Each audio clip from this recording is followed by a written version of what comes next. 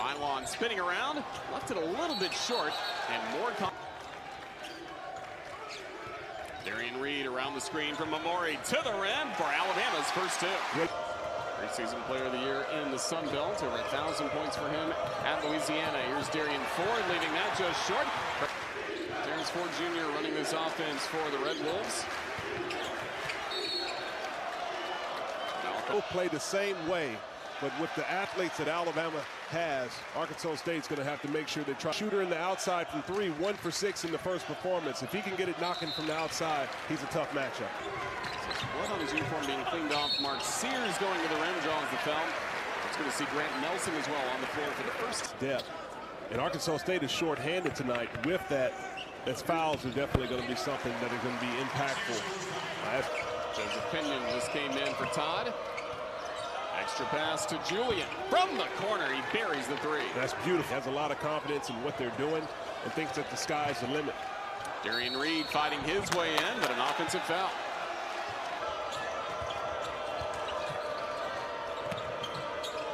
Ford from the top of the key. Off the back iron, Clifford to Sears feeding Philon. Draws the foul. That's beautiful action by Alabama coming down in transition. Impressive thing is that he's a two-way player. He can play on both ends of the court. He can run the show from the point guard position, and he can play off the ball. Go, another rebound by Omoruyi. Alabama looking to run. Sears, Omoruyi drawing. He's a prolific shot blocker. I think the thing will be is a matter of what are the teams in the SEC going to do when they're playing against them. You Saving in play. Here's Johnson in the long heave, and that'll be short. Shot clock violation forced by Alabama's defense. Gives them the versatility and the depth that they need to be a really good defensive team. Sears, Philon is foul. Or at least changed. Not even four minutes into the game, Alabama already in the bonus with seven team fouls on Arkansas. Philon. Second one won't go. Pinion the rebound for Arkansas State. That time by Arkansas State getting back, stopping the fast break opportunity. Mark Sears to the rim. Good so we'll back it up. Here's Ford. To the rim. Zips it out to Julien. Three won't go.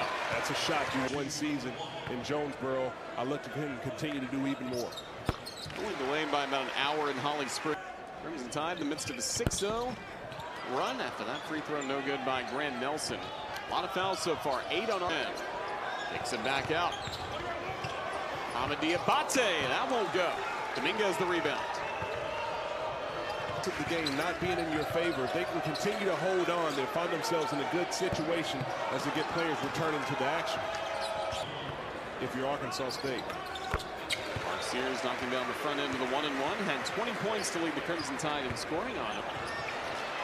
Diamante keeps this alive. Aden Holloway. Yes!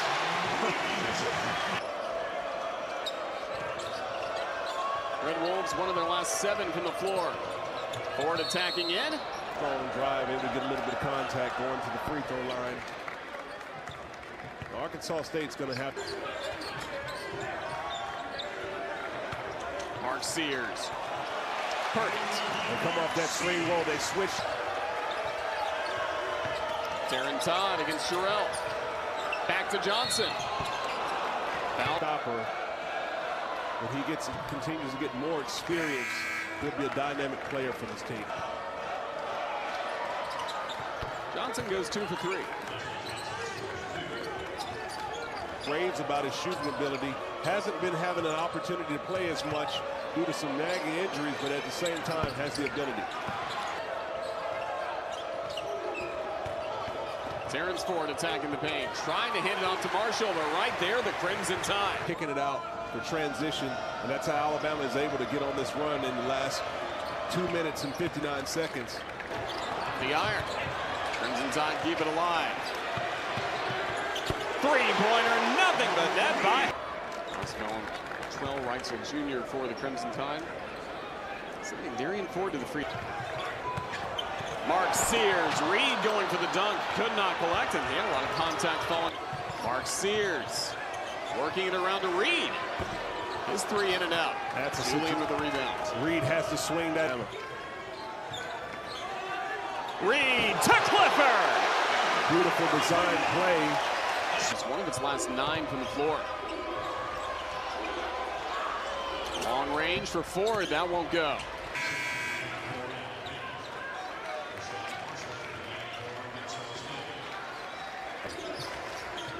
Ford Nelson's hand in his face. Couldn't connect on the three-pointer. Was in the last nearly six minutes for Arkansas State. Todd trying to go to Hill, but Ford attacking the paint, swims it up and in. Todd attacking from the left side and one. And themselves in the bonus as well. That was an that third foul on Derrian Ford. With his versatility, when he's able to be at his best, he's playing his natural position at the four and even at the well. It's a shocker to see the struggling from both sides. After lane violation, Nelson knocking that one in the yard.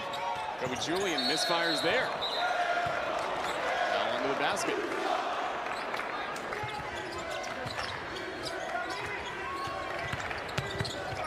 Wrightsell puts it up. Julien from three. And he buries the three-pointer just this. Oh, o Dioubate showing the improved shooting touch that he had from last season, not known for his outside shot, but being able to that time. Mark Sears weaving through traffic before he collides with Ford.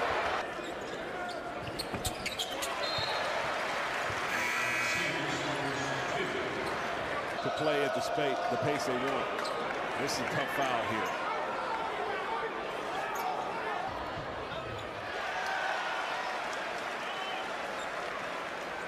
It's incredible, really. Just when we thought we Sherrell nearly had the rebound. Now four with a three-pointer. That's how the ball bounces. You can't get the free throw. Disconnection for the Crimson Tide. Johnson with this transition, do a lot of things with his physical team. Holloway misfires on the three, and the valid transition on Aden Holloway. You have two teams that can play up tempo, that can get it going, they can do it in a hurry. Mark Sears can't connect on. Still 4.46 left to go before halftime.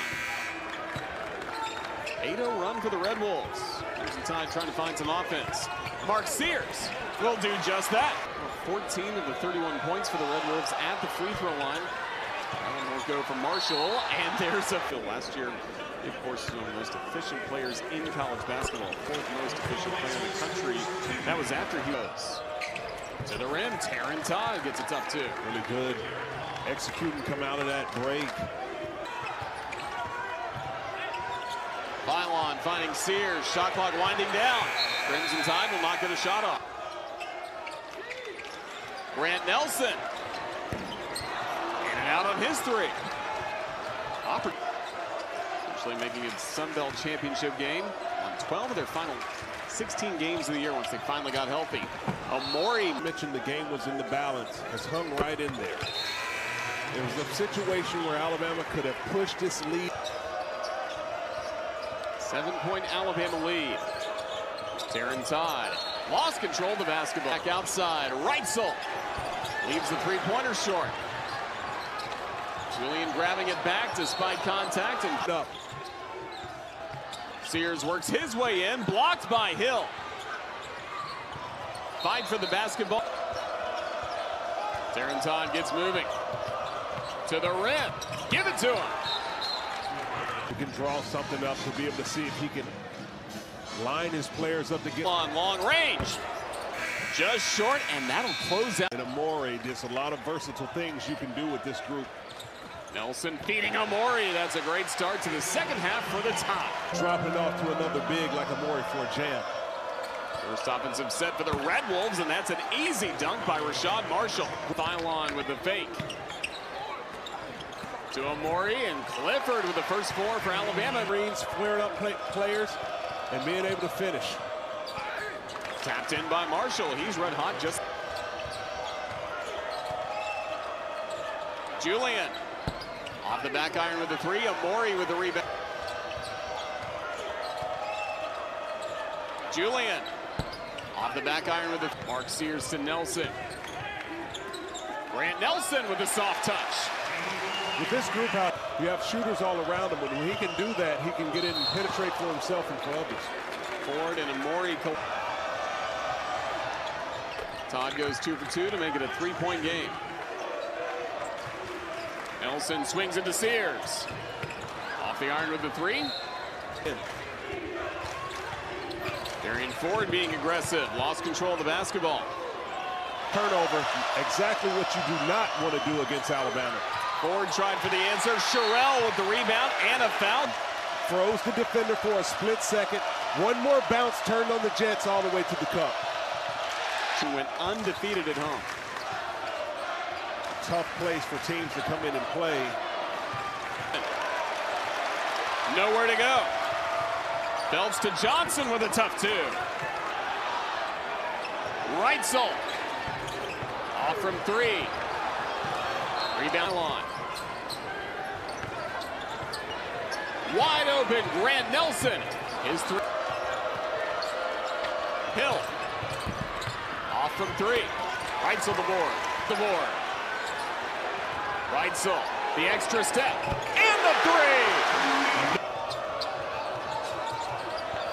Ford into the paint. Denied Sherrell. Looks back to Ford. 10 on the shot clock. Lefty.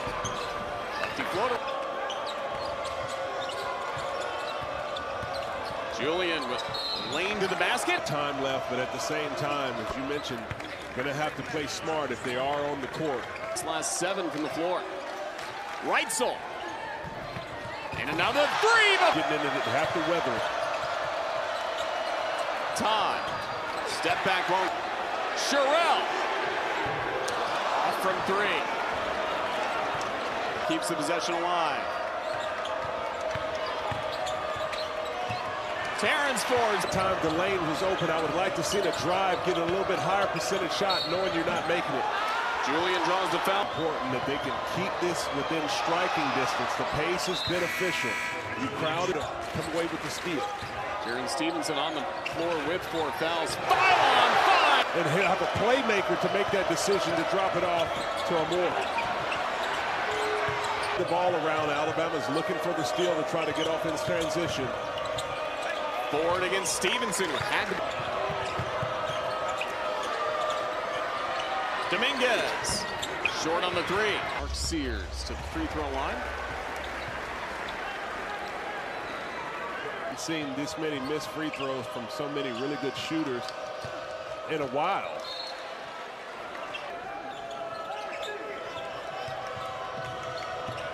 Darren Todd. Blocked by Clifford Omoruyi. Ford fighting his way inside and a foul against Alabama. Angling trajectory towards the offensive player.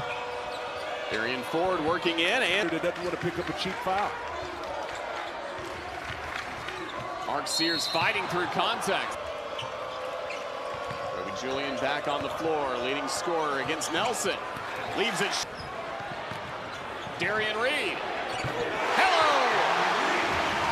Excellent decision. That was excellent high IQ pass. Ford trying to answer with a three, cannot. Crimson Tide with another.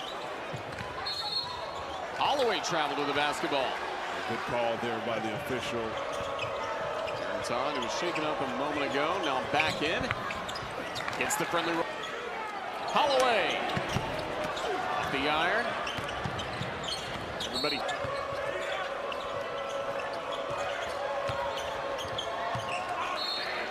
Crowd here is letting them hear it. Aaron Todd drawing Murray and Jarin Stevenson all with four fouls in this game. Still 8.45 to Action that Omoruyi has, and also in the pick and roll. He's had a lot of high percentage shots. Utilize.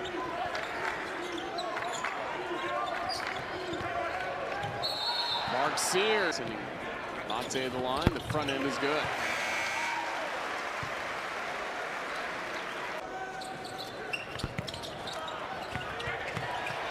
Sherrell with the offensive rebound. Tried to get a seven.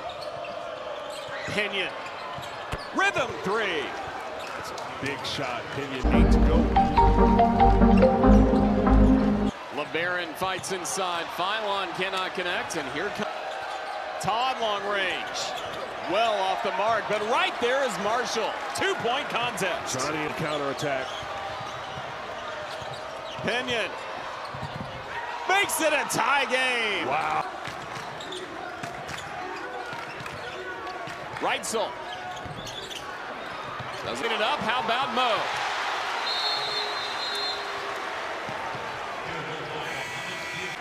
Red Wolves have not led since the early going when it was 4 to 3. Alabama's been in control, leading for 31 minutes of this game. Johnson. Shot clock winding down. Here is Ford against Nelson. Out of control and they should it back. Trying to build on a two-point lead. Grant Nelson makes it full. Looking to drive every possession if I'm the. Arkansas State goes in. Nice feed from Nelson to Sears. Won't go and a foul. Foul on Pinion. Sears goes two for two at the line. Here's some defense from Dioubate. Sears draws another. Side. You got to make sure you drive in, get fouled, get to the free throw line, and be efficient from the line. Taryn Todd. Denied by Reid. Marshall fighting in. Couldn't get it. Saves it. This is just the type of game it's going to be. Run it. Derrion Reid, the spin. The score! The freshman. Julien three. Won't go. There's Sears. Flipped over to the Tide. Latrell Wrightsell Jr. makes two minutes as Alabama's grown the lead to nine. Julien puts them back on the board. Great. Mark Sears, right to Reid. Nelson. Works it back to Pinion. Pinion lost control. Arion Reid had the last dunk. Works his way up, leaves that short. Finding Reid. Philon, yes! Three. Todd with the three-pointer. Got it to go. That cuts it. 20 to go. Mark Sears. For the line. Knocks down the first. Two to two trips. Wrightsell lost his footing today. Lobs in it, and there's Marshall Team comes. You talk about Ryan Kalkbrenner coming off that 49-point performance. The interior play will be something for Player of the Year. In an offensive style that's going to suit his game well in Jonesboro. At the line today, makes the first.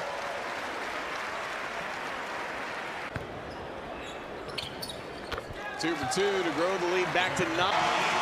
Nate Oats and Ryan Hodgson, two great friends, longtime co-worker. Alabama, you see that your team has the ability to be win a tough game